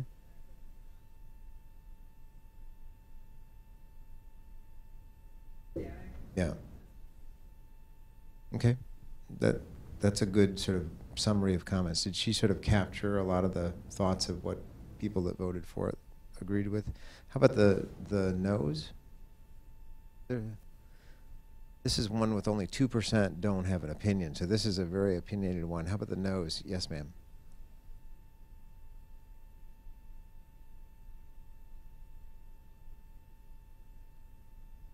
So everybody hear that? They did a good job at the bottom, but the top isn't tied in, doesn't relate, right?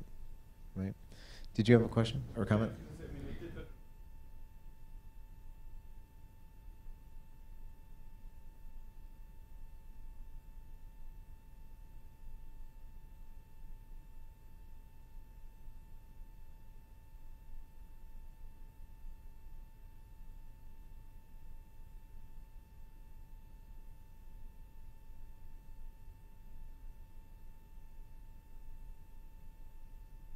Okay, great.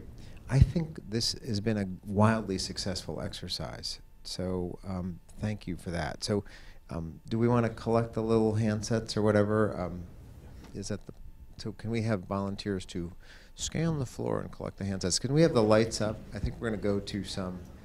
So what we wanted to do at the end, we've actually been listening quite amount, quite a lot, but we wanted to pose a, three questions.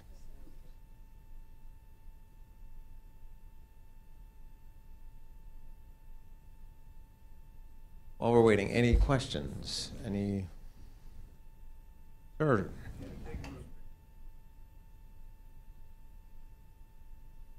yeah, uh, this man is totally right. So uh, we sent someone down last week after the leaves were off the trees, and it, and it was a, um, it's a it's a hard time of year to do photography because if you get a sunny day, the shadows are really deep, and you get an overcast day, it's an overcast day. So you kind of there isn't a good good balance. So.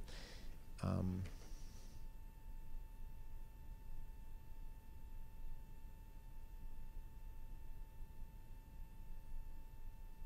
we're making adjustments. Any other questions or comments while we're?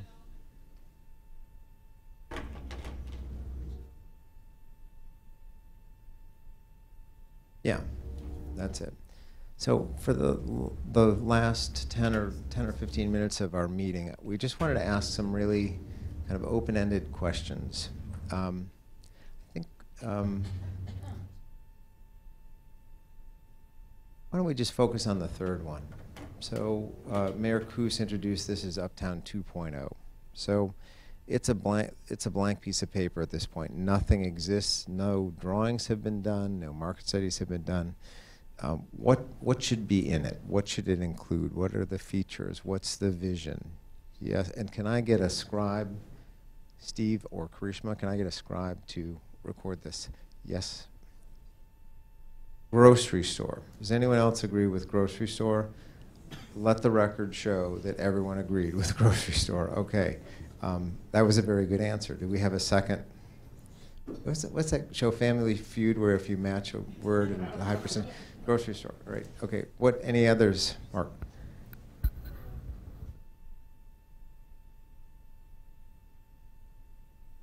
non-student residential. Okay, other, a lot of nodding on that one, yeah. Second to the supermarket, okay. This is good if we're gonna just go in descending order, it's so convenient, sir. Grocery store, I'm sorry, yeah. Sir, Well, there is a co-op that's selling shares in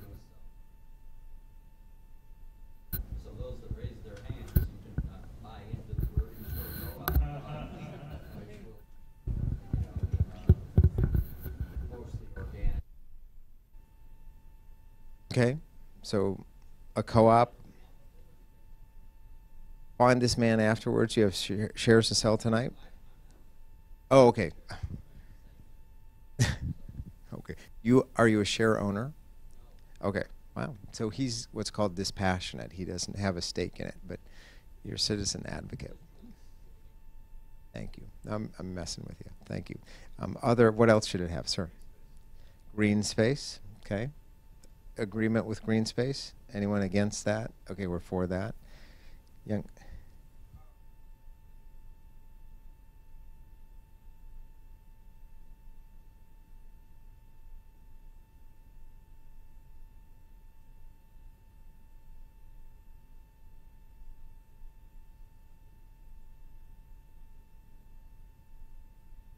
okay.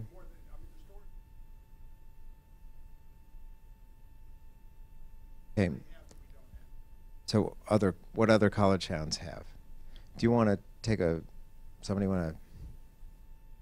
We have the panel of experts. i we've got 30 seconds to answer the question. To work. Um, we'll certainly look into that, and I don't want to jump to any conclusions yet until I learn a little bit more about normal and what it what it lacks and what it could have. But just random sampling of ideas in Durham, North Carolina, where Du- where Duke is, um, the, the the downtown was really decrepit, uh, kind of falling apart. Um, and then there were some relationships between a corporation, university, the public sector to redevelop its downtown. There's a brand new performing arts center that's done spectac- spectacularly well. You have to be careful with some of those performing arts centers. Sometimes they don't do so well, but that one's done extraordinarily well. Um, I don't think this is potentially right for normal, but there's a baseball stadium in Durham that's incredibly successful. Um, and what's more interesting, though, is that Duke has actually taken up a lot of office space in an old tobacco factory in downtown Durham. And um, there's law firms and tech companies that have kind of been attracted to that new office space. So there's a lot of different ingredients that come to campus towns.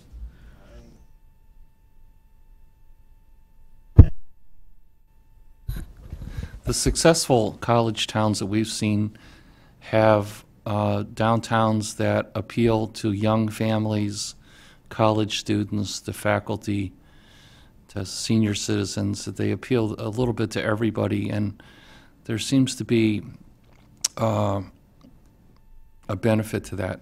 The college students are around non-college students. They, they tend to behave a little better. and, uh, and, you know, the seniors and, and empty nesters sort of like being around uh, younger people. So I think uh, Charleston, South Carolina is a really good example of that, where they have the College of Charleston right downtown. And, uh, and uh, I think when you pull it off well, when you have businesses and restaurants that appeal and housing that appeals to all of those age groups, it's good for everybody. And I think Charleston is one of the best in the country.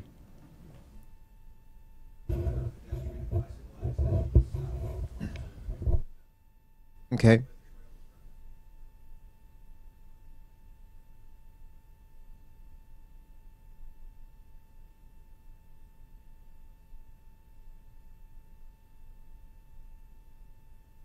Yeah. So so I think two parts, generally connections from the south across the tracks and specifically the bike route on Constitution Trail as it currently goes is perceived to be or may be unsafe. Right. So it was a patch, but not a, a solution. Sir.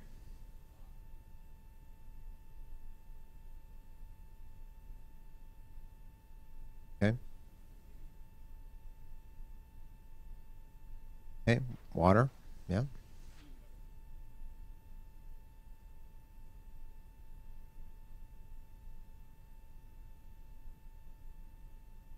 Okay, employers in the office.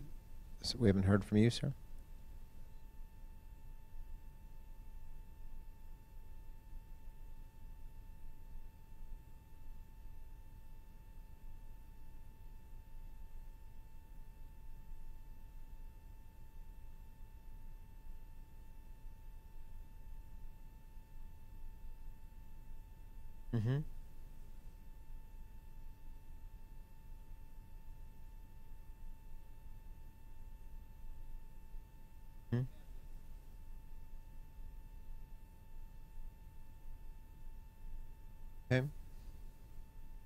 Wow, good comment, sir. Public art. Do we have any now?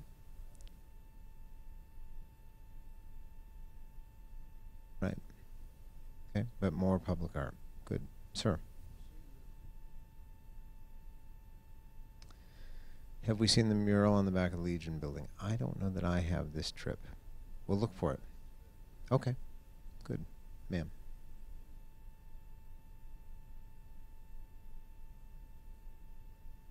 Al fresco dining, more of that. Good, ma'am.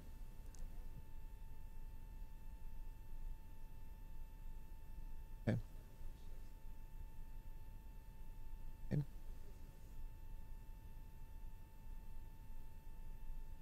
Yeah. Okay, plazas. I'm doing my scan here. Any? We got them all? No. No way. Sorry, I'm sorry, Mark. Sorry, you.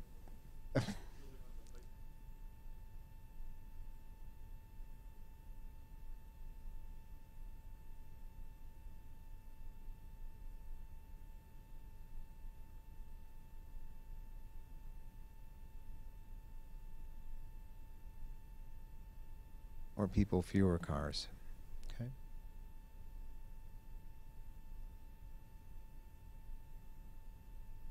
Okay.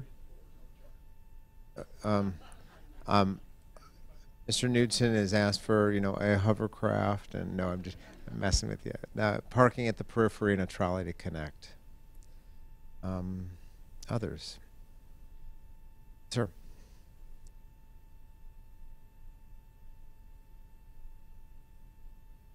Edible landscape. Cool. What do you have, what do you have in mind?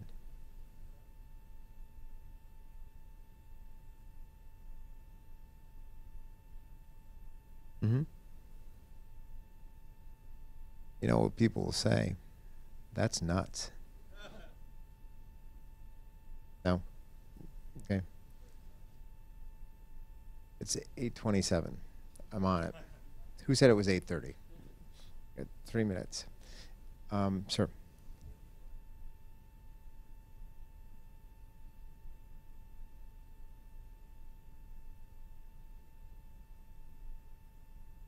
Bike rental. Do we have, there's no bike rental in the downtown? Okay. Okay, cool. We've got a couple minutes left. Any last thoughts, sir?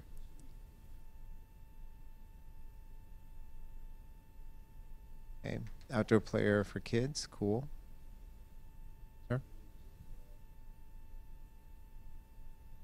Public lighting, sort of nighttime lighting stuff, okay. Is it dark now? Okay, more interesting. That, that's, I like, let's get that one. More interesting lighting. Cool. Sir?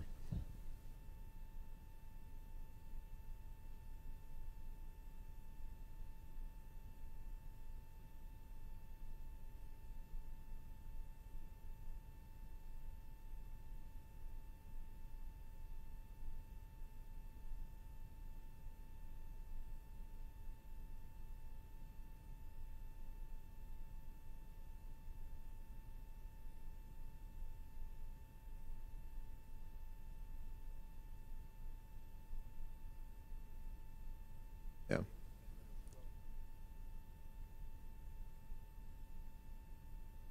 So a way to keep the trail open later, including better lighting. Okay, cool. Last scan. Any burning ideas? So, excellent meeting. This is the kickoff. So we're going to record all this. We will publish the results of the polling uh, and so on. Um, but we pick this up again in either late January or early February. I'm not quite sure if the date's been set. So um, what we'll come back and do is schedule, a, is it a couple, two or three day uh, workshop. We'll have, everyone will be invited back. I hope you all come. It was kind of fun, right? Kind of fun. Um, I learned a lot. Um, I hope that you learn from the experts behind me because they're pretty smart people. Um, and anyway, we'll come back and we're going to work together and make a great Uptown 2.0 plan. So, uh, to Mark, Mercy, the mayor, council, any did I forget anything? Wayne, any anything I forgot to cover? Um, team, anything we forgot to cover?